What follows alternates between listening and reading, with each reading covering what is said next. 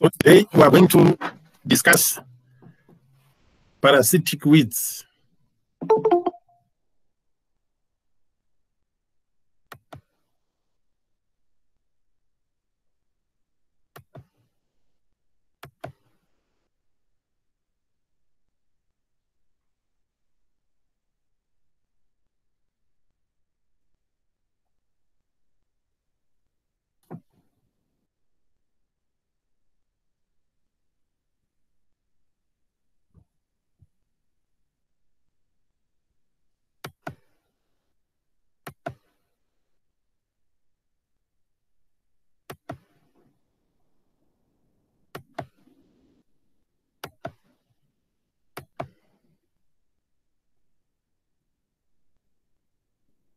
Okay, let, let me check something.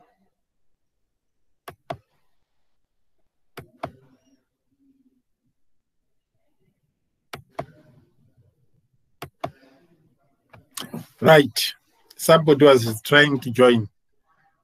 So we'll resume our discussion on uh, parasitic weeds.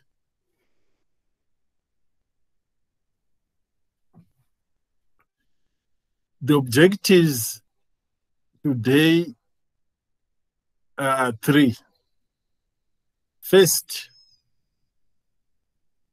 by the end of the lecture or discussion, we should be able to identify parasitic weeds and their symptoms on the host. We should also be able to understand the biology of the parasitic weeds. And the last important thing is to be able to understand the general control strategies. This first slide is showing us the parasitic weed Striga asiatica it's this plant here with the red flowers.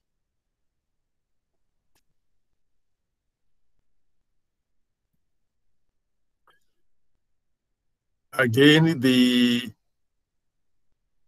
Striga asiatica with red flowers.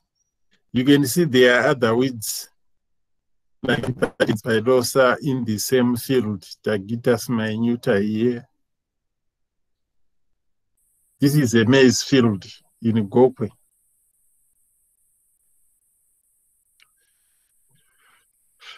This maize is being attacked by Striga asiatica. Uh, this is the in the low veld. You can see the plant the, the, striga near the, the near the maize uh, near the maize uh, plant and it is uh, having some it's starting to flower I can see some uh, red flowers this was supplied by Mr. Dembure. Thank you very much for the photo showing what is happening in the low veld This maize has already been affected. You can see it is short. Sorry. You can see another interesting uh, thing about the maize is that uh, the leaves are already rolling, showing some uh, drought stress symptoms. Yet, if you look at the ground, it is very wet. So one of the symptoms of striga is that uh, it can induce drought stress symptoms in a maize uh, plant.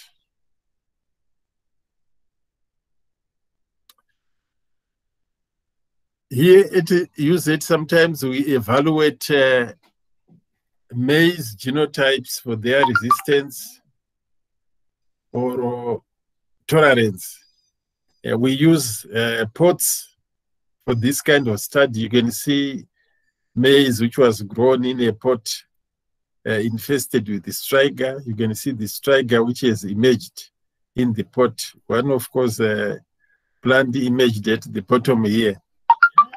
And this leaf drying is uh, caused by striga.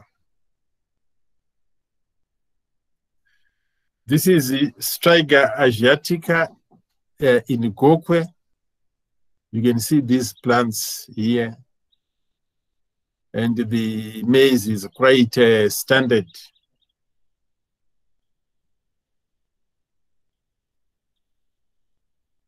Again, this is in Gokwe, where striga was a serious problem in some places. You can see we have got some uh, farmers who have uprooted this uh, striga, showing that uh, it's there, it's one of their problems. This is a student, Stanford was working uh, in Gokwe, evaluating some varieties there. You know the chairperson here, Professor Gasura.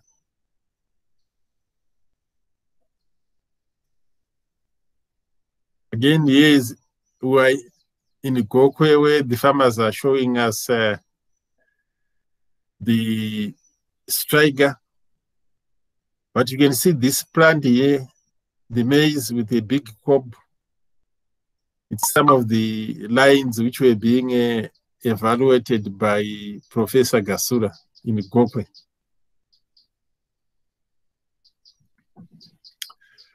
Now we have got uh, various types of uh, or strains of uh, striga.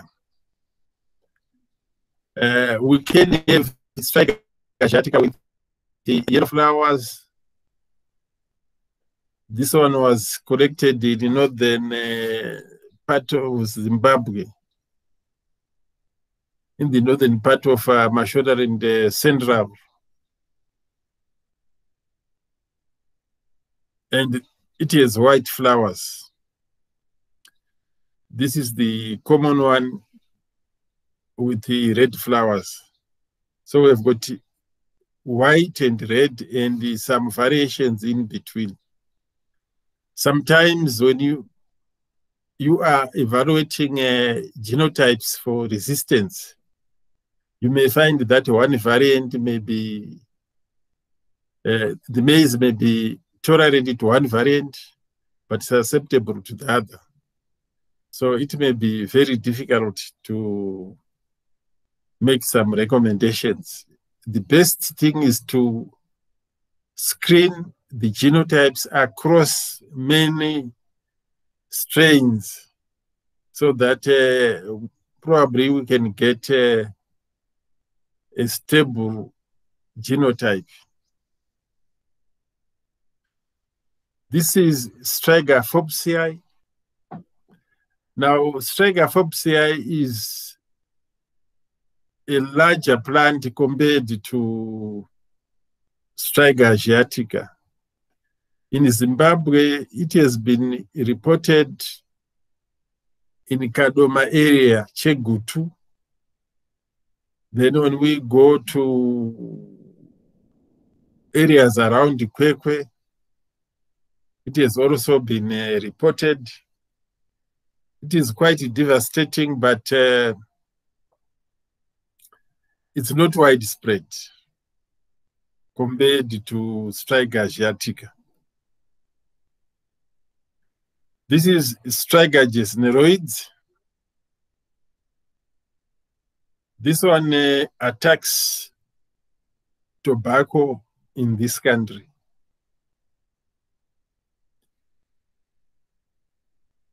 It has these uh, purplish flowers. So where tobacco is grown, especially in Mvuma and some parts of Chegutu. But uh, this problem started to emerge when tobacco was now being grown by many farmers, especially in newly resettled areas around the Mvuma. That is when farmers started to report it as a problem.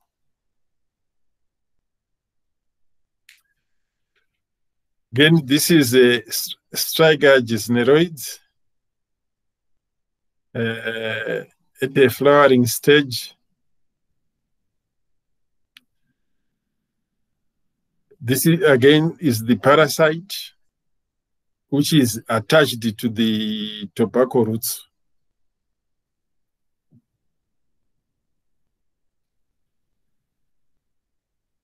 This is a, a tobacco field in the background.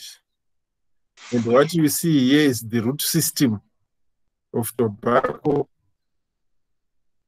where striga gesnerioides is attached.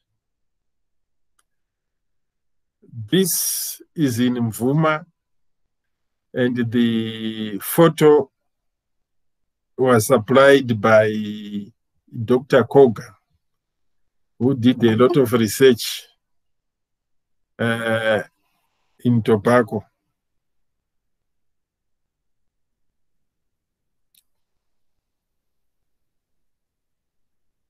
This is the tobacco which has been affected by striga.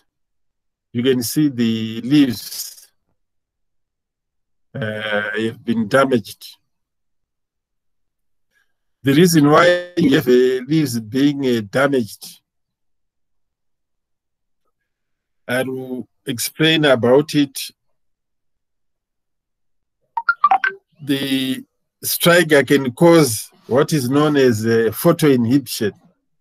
It affects the uh, photosynthesis.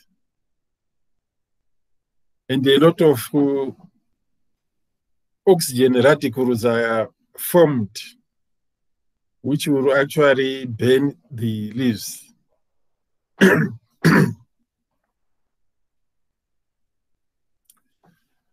this is Alectra vogelii. It's a parasitic weed which attacks cowpeas,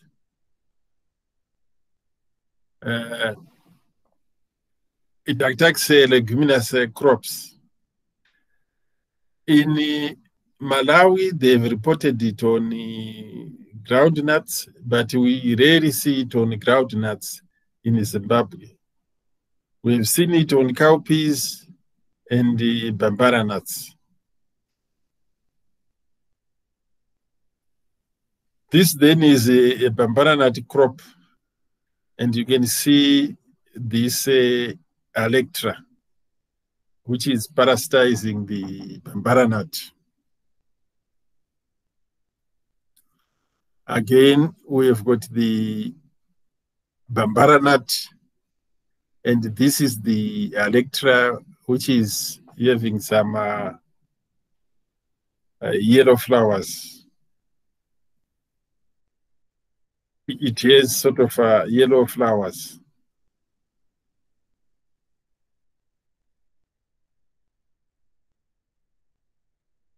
Again, this is Alectra in uh, cowpeas, where the student who was screening some uh, uh, cowpeas for resistance. You can see the cowpeas were planted in pots. That is where we are getting the uh, Alectra vogelii flowers.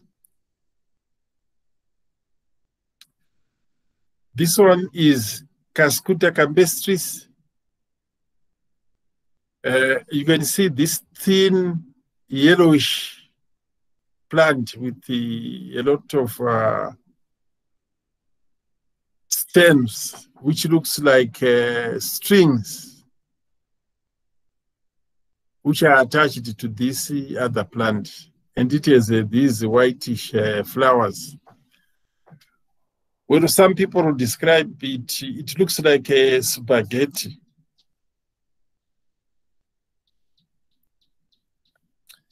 You can see these spaghetti-like uh, structures of Cuscuta campestris. This one is Rhamphicarpa fistulosa. It is found parasitizing uh, rice. Uh, normally we see it in the flay areas. I've actually seen this weed in Masvingo, in Mshagashi area where farmers uh, grow rice in wetlands. And it was affecting their rice. So that is this plant.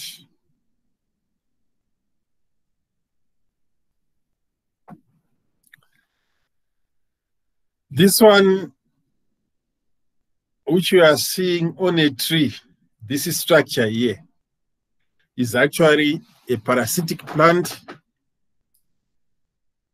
which is found on trees.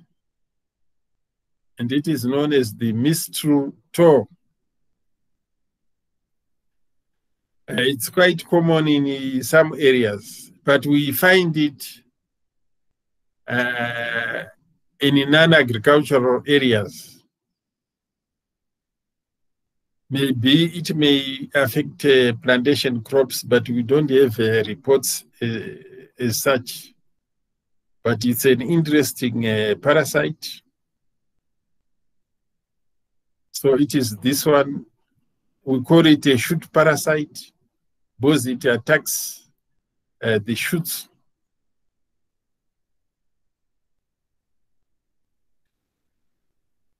There's a paper uh, which was uh, written by these authors. Uh, you may read it if you are interested about these uh, which attack uh, trees. Probably they may attack uh, plantation crops. So it's important to have some idea about these uh, parasites. But in for agricultural purposes, we have not had some reports about the problems of uh, mistletoes.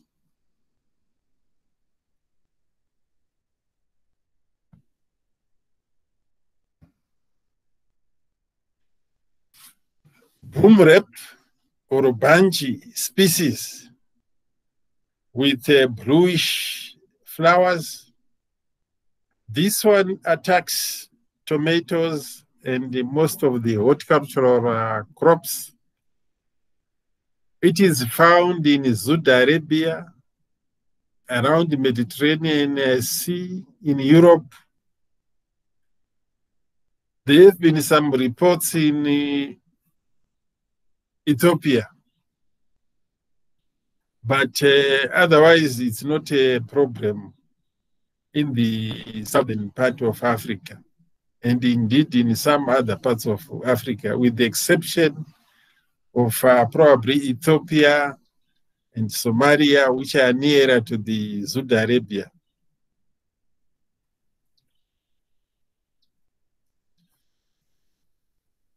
So what are parasitic weeds? These plants cannot exist on their own. They need to get uh, carbon and mineral salts from other plants, which we call the host. And there's a specialized structure which enables parasitic weeds to get uh, carbon and uh, mineral salts. This structure is called, is termed Haustoria. We've got, we've got uh, local names for witch weeds. Uh, some people call it Bise, some call it Rombi, others call it Isona. I think in Matabeleland they refer to it as Isona.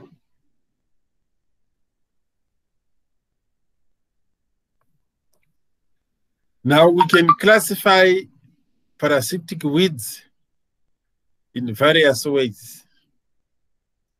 If a parasite is attached to the shoot, we refer to it as the shoot parasite.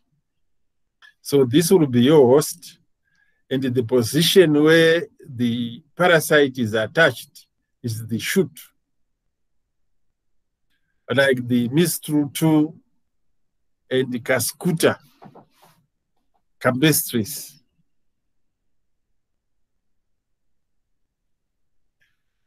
You have your host, and if the parasite is attaching on the root,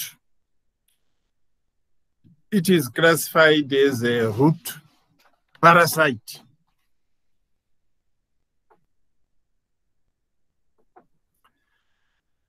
So we could use the position where we find the parasite to classify them, either shoot or root. Secondly, we can use the color of the parasite. Uh, in this case, we are referring to chlorophyll. Now, the parasites which contain chlorophyll are known as hemiparasites because they can at least photosynthesize and manufacture partly some of their uh, food requirements. Then we do have uh, those parasites which do not contain chlorophyll. They are known as holoparasites as opposed to hemiparasites. Uh, for example, the orobanche which I showed you with the uh, bluish flowers. And I said, in Africa, we do not have it as a serious problem. It's restricted in uh, Ethiopia and probably Somalia.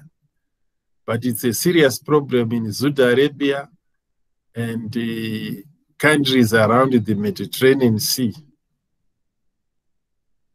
So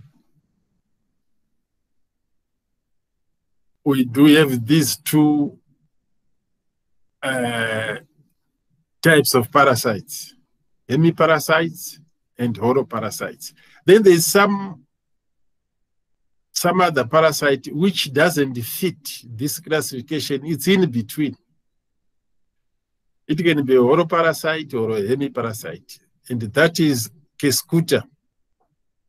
It forms the boundary between holo and hemiparasitism. It has a bit of chlorophyll, but not much.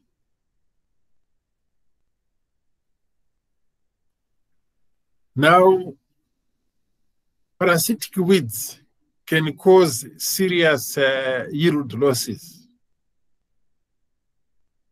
It was reported that uh, in Africa, the area which is affected by parasites was estimated to be 73 million hectares, where cereal production was occurring. And this area was affected by parasitic weeds. As far as the actual losses are concerned, Sauerborn in 1991 estimated grain yield losses of up to 6 to 21%. Kim in 1991 estimated losses up to 40%. But uh, it must be noted that uh, cereals may actually fail to produce grain in some cases. So it could be 100% yield, uh, yield loss. Here we've got uh, a table showing us uh, common parasitic weeds in Zimbabwe. The most common one is Striga asiatica, which attacks maize, sorghum, millet, and the sugar cane. in the low velvet. Uh, we have got uh, Striga forbesii. Actually, Striga asiatica is the one which is uh, widely distributed in Zimbabwe. Then we have got Striga forbesii, which also attacks maize, sorghum, millet, and sugarcane. But this one is restricted around the Kadoma area and the Kwekwe area.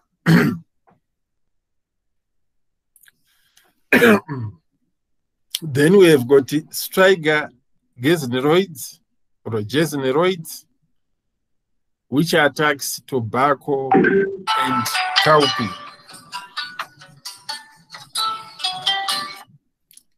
So, hello? Hello? How are you doing? Sir, May you please let, can you please let me in the Uh, okay.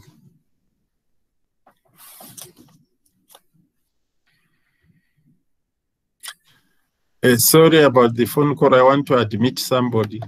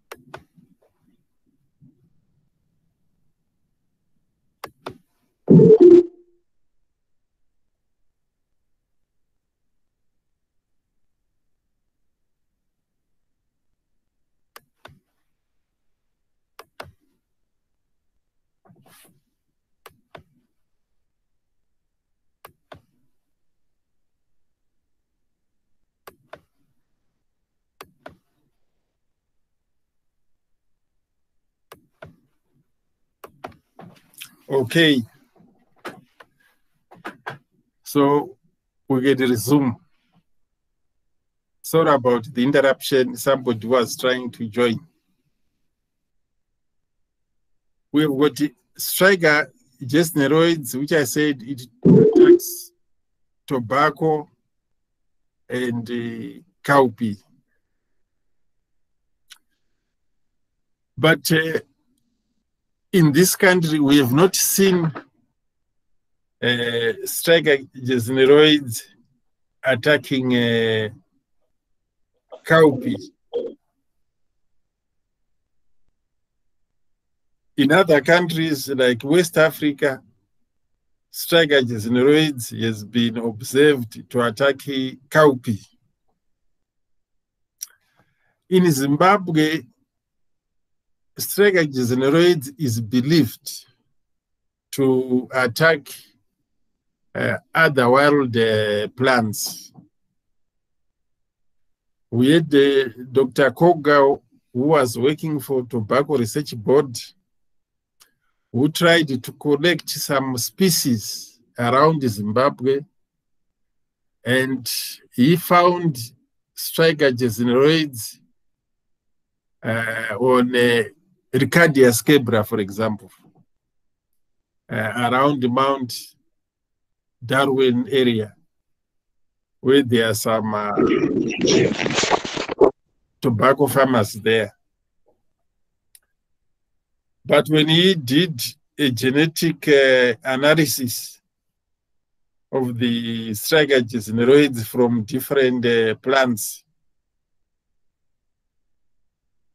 he found that uh, the striga on tobacco was totally different from the striga gesneroids, which is assumed to be attacking Richardia scabra and other plants. So that question still needs to be resolved because people still think striga gesnerioides is attacking these other plants.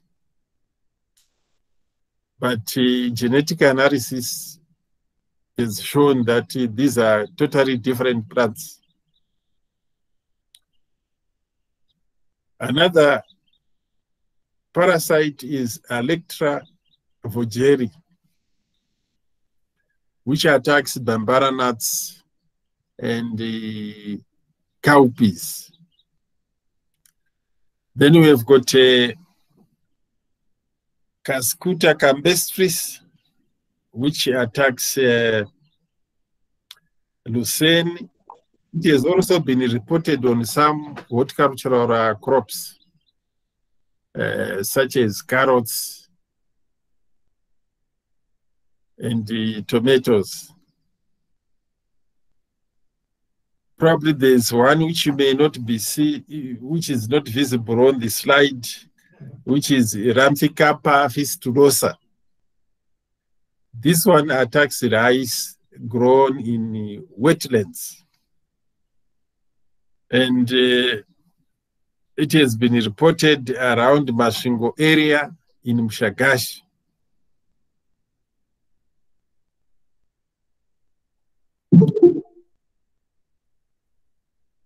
Now, the striga species or the para, parasitic uh, weeds can be classified according to their plant families. Most of the parasitic weeds belong to the Orobanchaceae family. And under Orobanchaceae family, we've got Striga asiatica, Striga forbesii, Striga gesnerioides,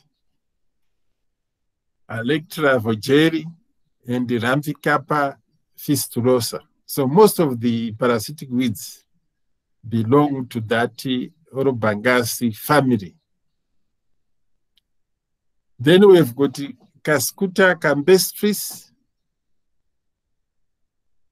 This one belongs to the Cuscutaceae plant family,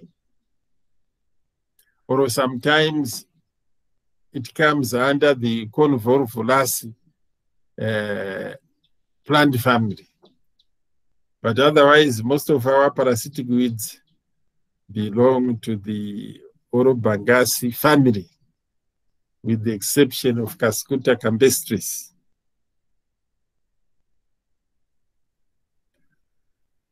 Something which is quite unique about parasitic weeds is the seed size. They have very, very small uh, seeds. For example, Alectra vogelii has got a seed length of 0.2 millimeters. And its weight is about uh, 0.3 micrograms. Striga asiatica has got 0.33 uh, millimeters length and 3.7 uh, micrograms. Striga forbesii has got 0.5 millimeters and 12.4 micrograms. But uh, just to summarize it, we can just say the seed look like dust. Probably this can uh, give us an idea about the size of the seeds.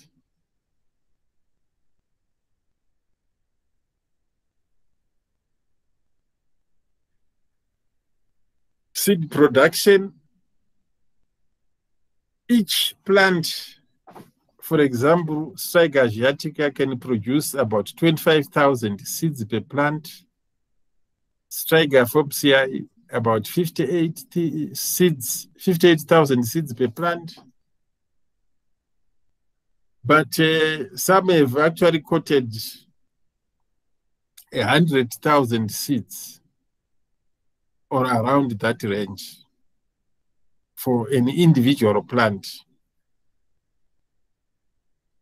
And these seeds can stay in the soil for a long time, up to 20 years, what we call seed uh, longevity.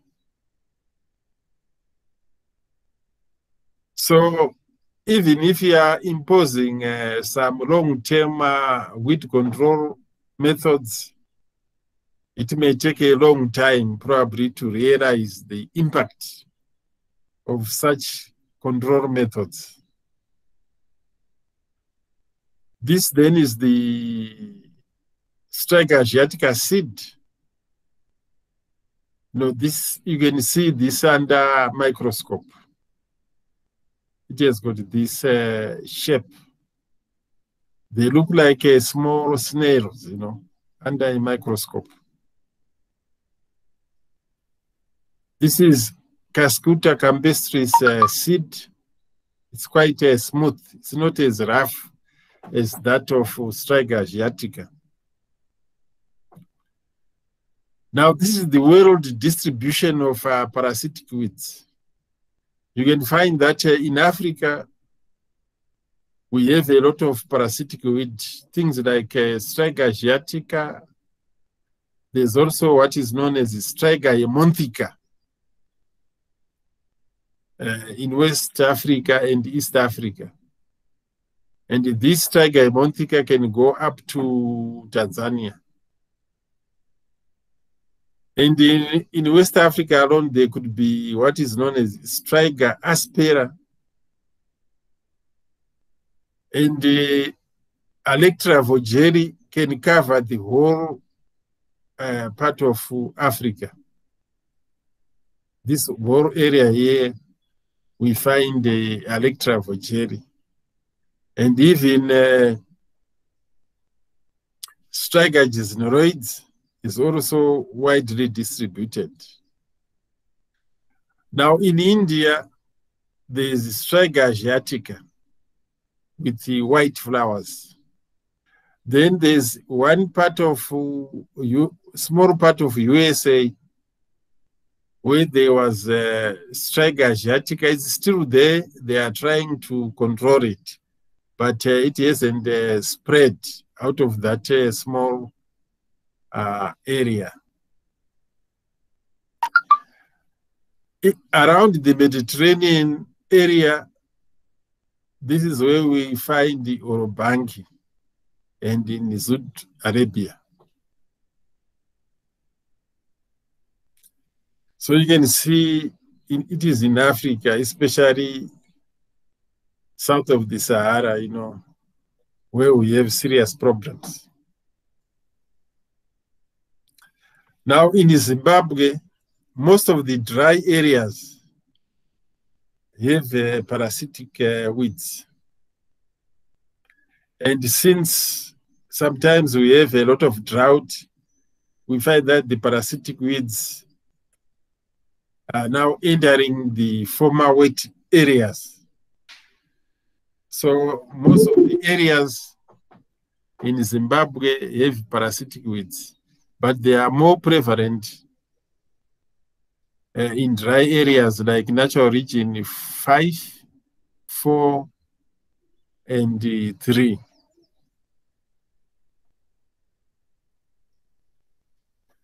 Now, I want to look at the life cycle of the parasitic weed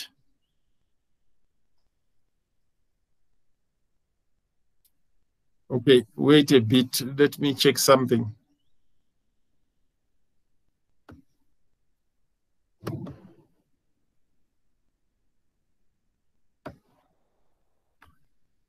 Okay, somebody was trying to get in. Sorry about that.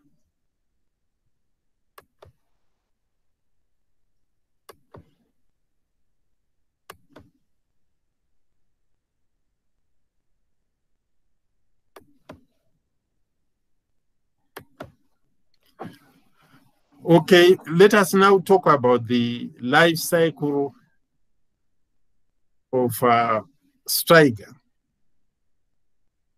Because if we are going to control it, we need to understand the life cycle.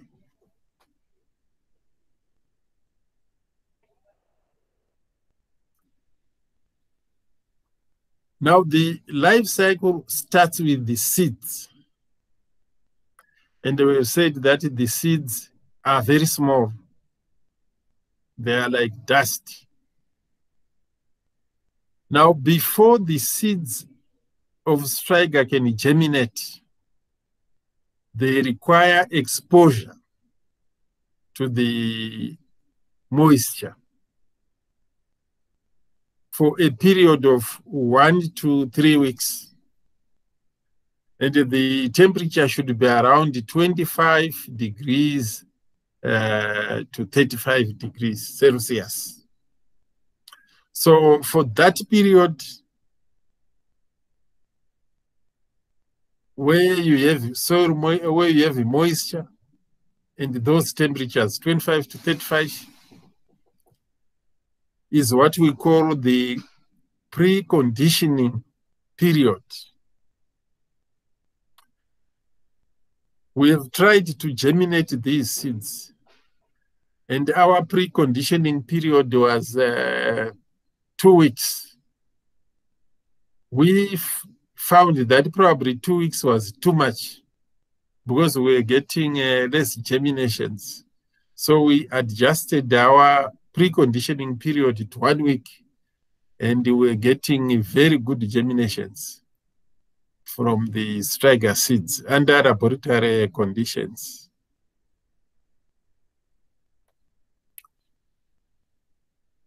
Now, after germination, the seedlings or the radicles of the striga seeds need to get attached to the roots of the host. Now, for them to get attached, the host has to produce uh, stimulants, which makes it possible for the uh, radicles to be directed to the host, or you require the germination stimulants to trigger that germination after the end of the preconditioning uh, period. Now, some of the substances or stimulants which we have, we've got examples like Strigol. Strigol was the first germination stimulant to be identified uh, from cotton, although cotton doesn't support uh, the growth of the striga. The other uh, substance is known as the sorgoleone. Then we have got uh, and alectrol. All together, these are classified as strigolactones. I will explain later about these. Now, the striga is germinated. The next thing is that it has to get attached to the root.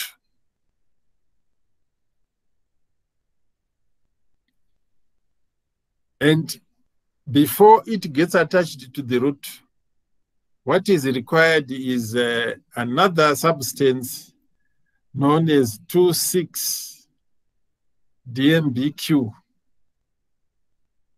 which facilitates the uh, attachment. Uh, 2,6-DMBQ is, is not the only uh, chemical which is involved. There are plenty, and some of them have not yet been identified. Together, they are classified as Haustoria initiation factors, represented by HIF or haustoria initiation factors. And one example is 26DMBQ, which makes it possible for the attachment. Now, when the attachment is uh, taken place, the parasite can take up to a month or 30 days underground. And this is when the parasite is causing serious damage here. That is when it is causing serious damage. And the frustration of the farmer is that uh, the farmer cannot see the wheat because it has not yet emerged. Even if they wanted to weed, the, the field looks clean because uh, what is damaging the crop is still underground. So this is one of the challenges of controlling uh, parasitic weeds. Eventually, it will emerge. And it takes about again 30 days or another month to produce flowers and seed. Now, after seed production, the life cycle is completed.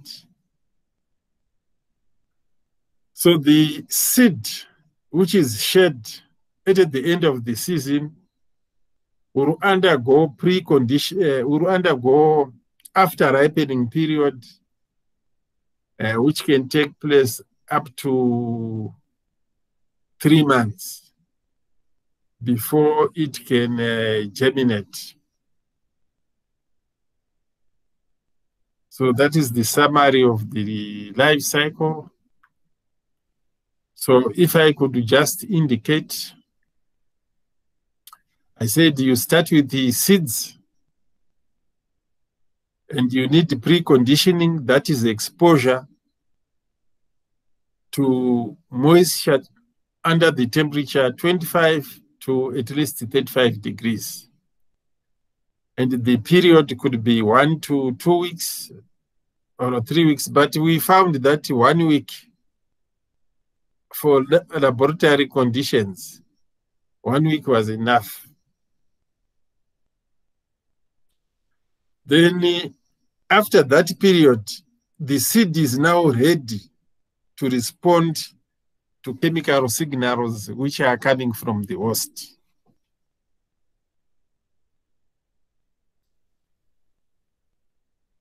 This is the striga which has germinated, you can see the the radic the white long radicles. Now this was germinated in agar gel in petri dishes uh, under incubation with the exclusion of light. we took these pictures from one of the students who was screening uh, maize genotypes for striga resistance.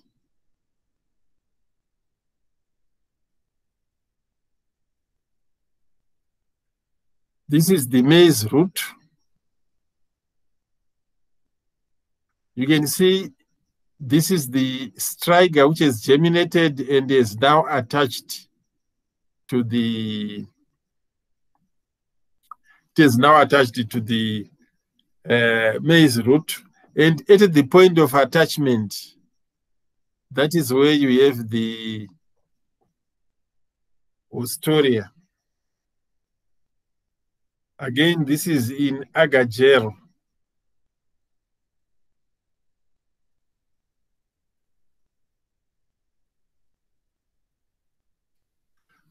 So the germination stimulants are known as strigolactones. And we've got a list of them. We've got strigol, isolated from cotton. We have got the sorgoleone and the. We have got a This, there was an attempt by scientists to produce artificial uh. They copied the structure of Strigol and produced what is known as GR24. The idea was to make this a herbicide so that you spray it to the soil and full the seeds, thinking that uh, probably there's the there's a host.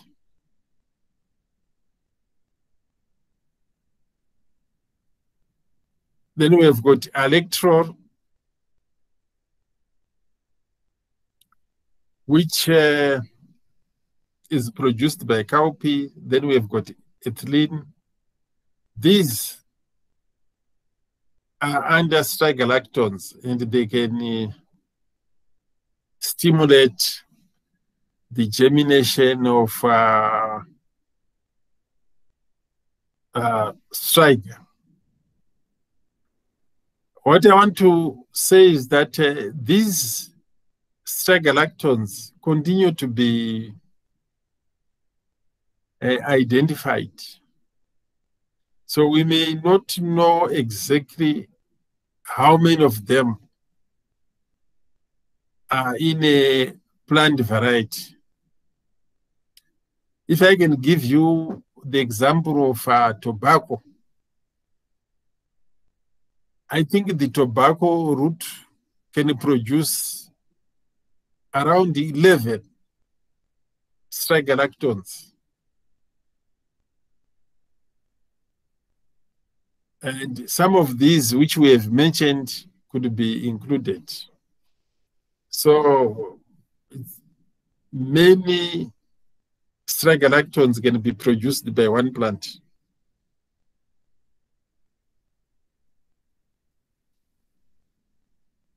Now, contact with the host, that is when the parasite is actually formed the radicle at the point of attachment.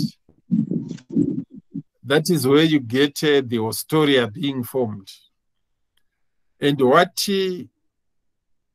necessitates the formation of haustoria is the presence of two six DMBQ or in 426 dimethoxy P benzoquinone. It's a Haustoria initiation factor. And what triggers the formation of this substance is the conduct of the radicle of the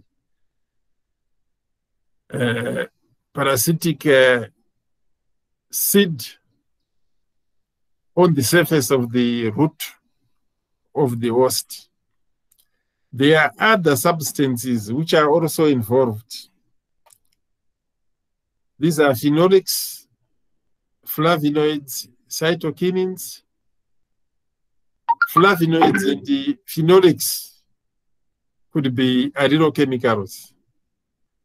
Cytokinins could be hormones, and uh, we have also a substance known as thidiazuron, uh,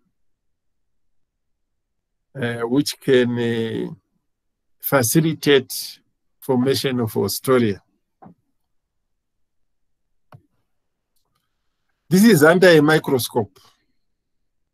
If you are looking at the root structure, this is the diagram where you have the, the host, and this is part of the parasite, and the bridge is the haustoria.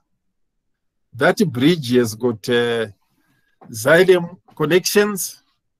So you've got a xylem connection to the host, and to the parasite.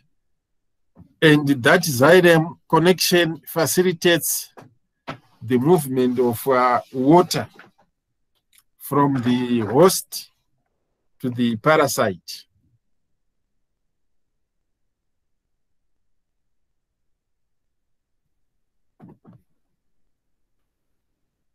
Now, period under the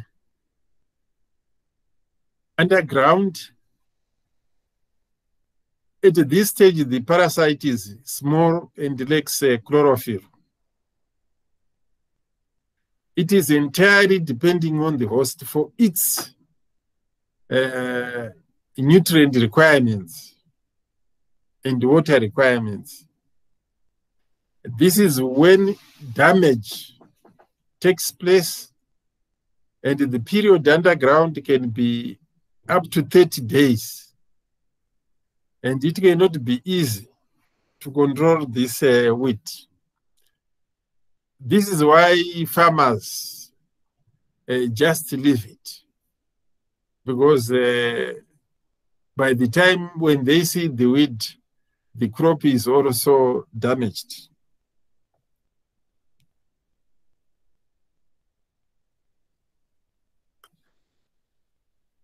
So after germination, it takes 30 days underground. Then uh, after emergence, 40 to 40, uh, 30 to 40 days after emergence, it starts flowering and forming seed. And the seeds will complete the life cycle. So that would be the, the life cycle will be completed when seed has been formed.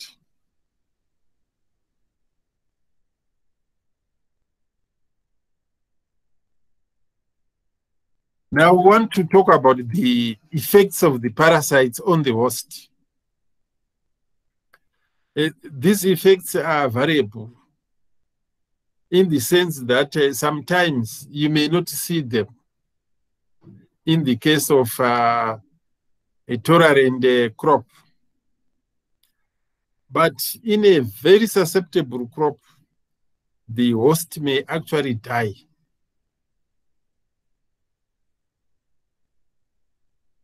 So you can have uh, cereals which may be resistant or tolerant. Others may be susceptible. So it varies depending on the genotype. This is why we have to do some uh, studies to identify host resistance or host tolerance.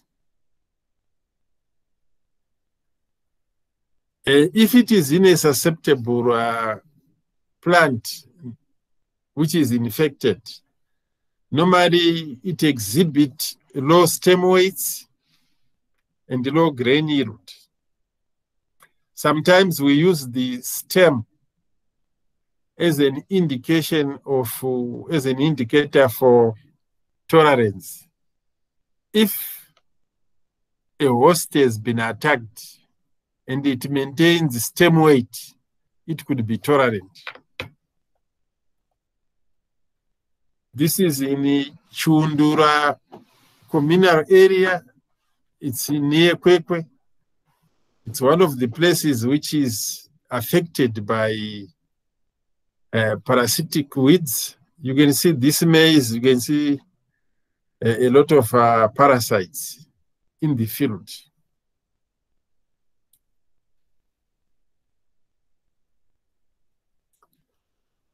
You can see maize which is wilting even when it was uh, wet, showing the symptoms of uh, infection. You can see striga underneath here.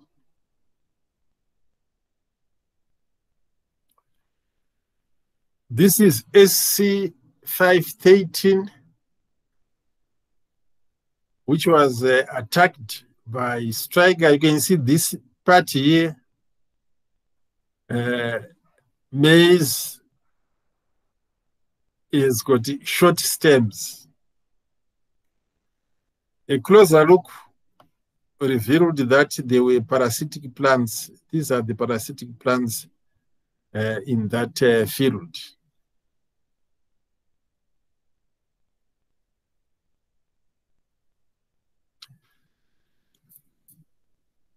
Now the parasite, the parasitic weeds can cause, you know, standing of internode elongation. This is why we see very short plants uh, when when there's a striga infection. Uh, wilting symptoms, I've already showed you the slides of maize, which is wilting, even under wet conditions. Uh, there are similarities between the physiological effects caused by drought and those caused by striga. Drought causes wilting.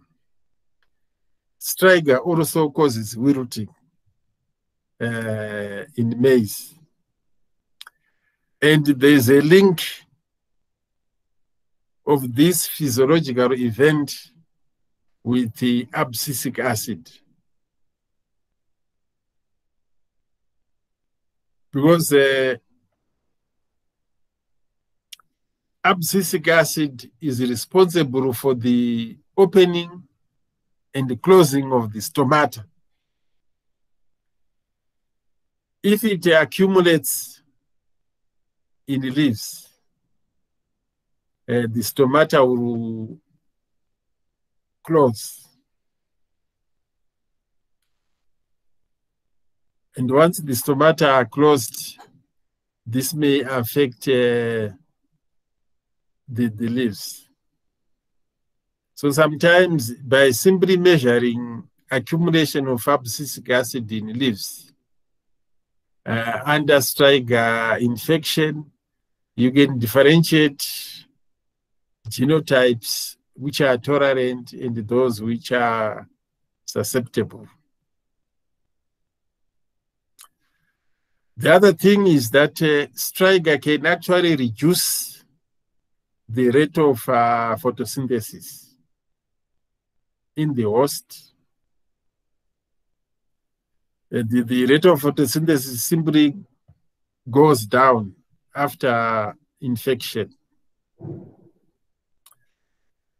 But there could be other varieties which are able to maintain their photosynthesis under striga infection. Such varieties are tolerant.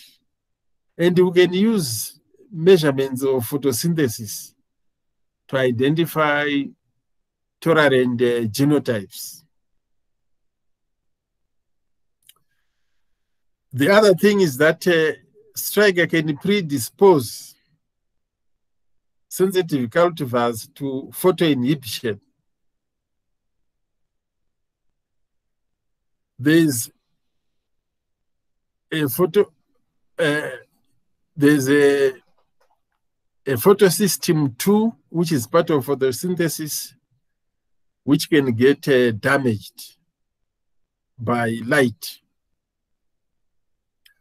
And this becomes apparent when striga is infecting the plants. No wonder why the leaves turn brownish if they are damaged by photoinhibition. Probably this is what striga gesnerioides can do to tobacco leaves because they turn brown after infection.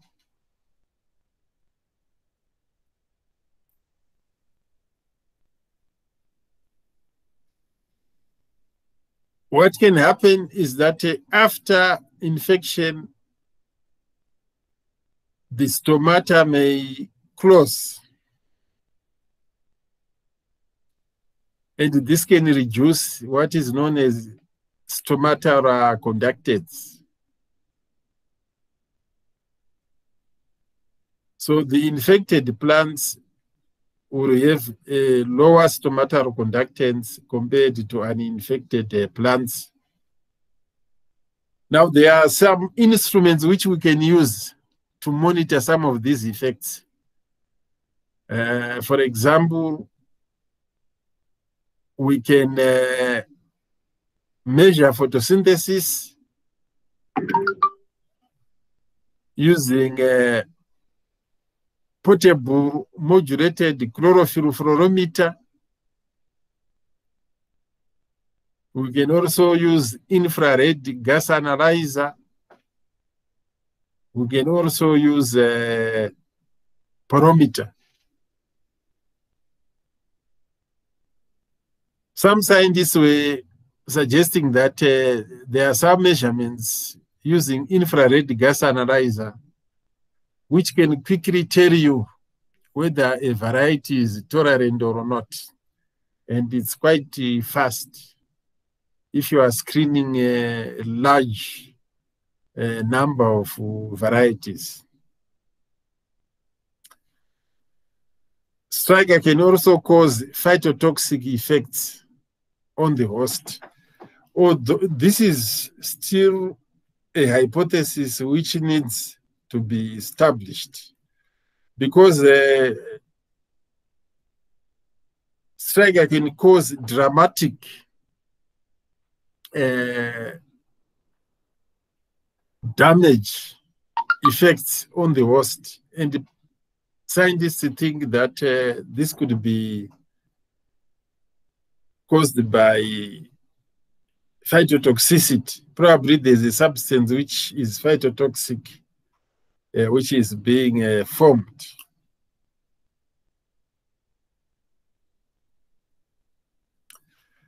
Now, I want to talk about the partitioning of carbohydrates within a host uh, which is under uh, which is which has been attacked by a parasite. So I'm going to look at uh, various uh, relationships of source sink interactions. We start with the relationship of uh, Alectra vogelii and its host. We can also talk about the Cuscuta campestris and its uh, host. Now, within these two parasites, there's a clear redirection of host resources to the parasite sink. What it means is that uh, when the parasite is, uh, is attached to the host, it will compete with, uh, with let's say, seed formation of the host. Instead of the carbohydrates being channeled to the flowering parts where seed is being formed, the carbohydrates are now directed to the parasite. And usually the parasites form very strong link, sinks for carbon and the nitrogen. And this can lead to reduced seed size, reduced seed weight of the host, and eventually this will lead to low yields.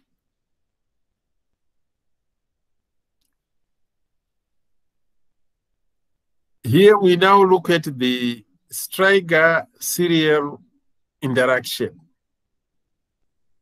Now, if you compare striga and the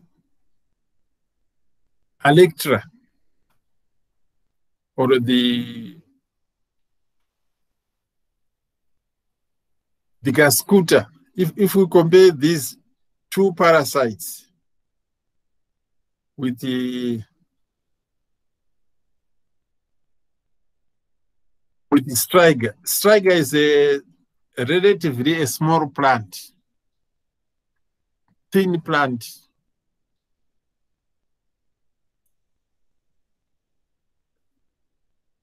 The other thing is that uh, this parasite can also photosynthesize. and make uh, probably some contribution to its carbon requirements. So how much will it take from the host? It's a small plant. It can also manufacture its own food. That is the question.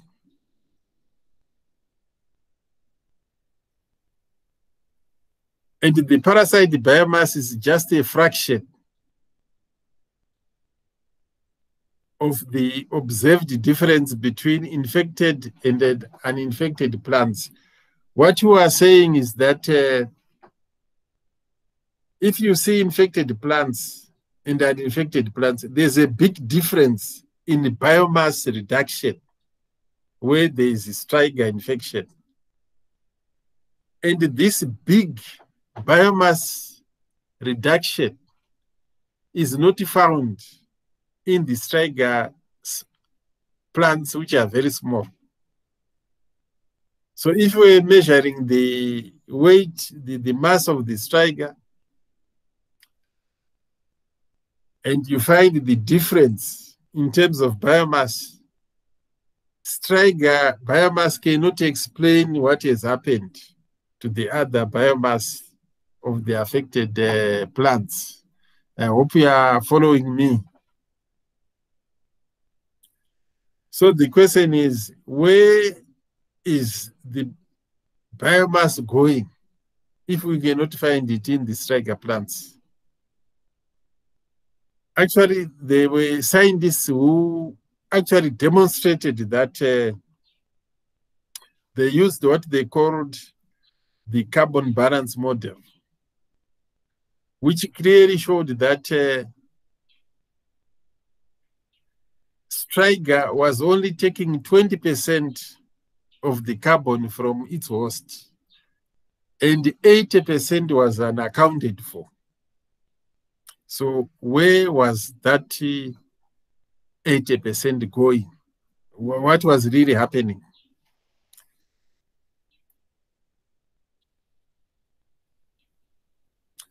So the explanation could be uh, related to some of these issues.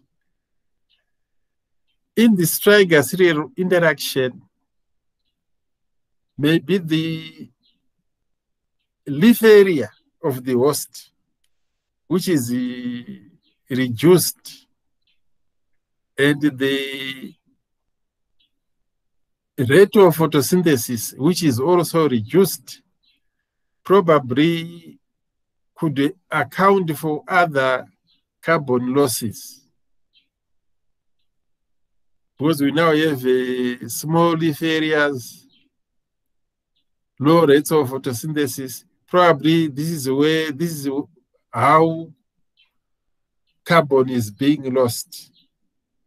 The one which we think should be taken by striga. Also, low stomatal conductance. If you reduce stomatal conductance, it, it means that uh, carbon dioxide supply to the leaf for photosynthesis is also reduced. There's also increase in photorespiration uh, metabolism which may also contribute to the uh, reduction of the rate of uh, photosynthesis. In fact, the striga is well known for the photorespiratory process. In photorespiration, what is happening is that uh, Rubisco, which is the enzyme which facilitates fixation of carbon dioxide. It is also facilitating the breakdown of, uh, it is actually reducing the formation of uh, glucose within the striga. So what may be happening is that uh, although Striga is getting glucose from the from its host, it's simply burning it, destroying it, without even using it, because of photorespiration.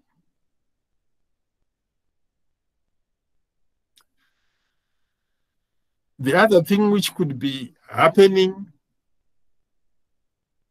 is something to do with the plant growth regulators.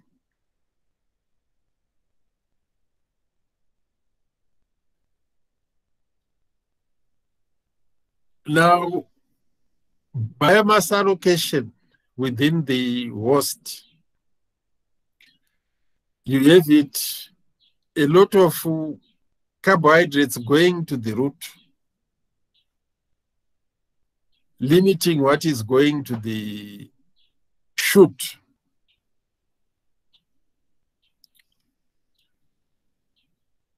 So you could also have uh, shorter internodes in the infected uh, plants. And probably the whole structure of the plant or architecture is altered. Once the whole architecture is altered, it may also contribute to the inefficiency of the photosynthesis which will now uh, take place, probably due to leaf shedding. Very few leaves will be exposed to light uh, for photosynthesis.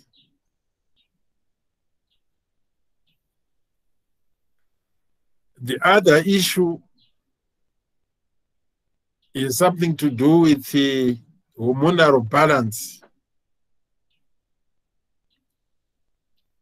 We've got uh, abscisic acid, gibberellins, cytokinins may also contribute in the changes of the architecture, which can also reduce the photosynthesis.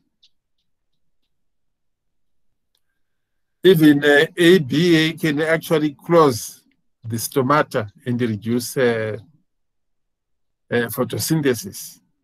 So there are a lot of processes which can account for the losses caused by striga, and they may not simply be explained by abstraction of uh, uh, carbohydrates in the water by the parasite. It's beyond that.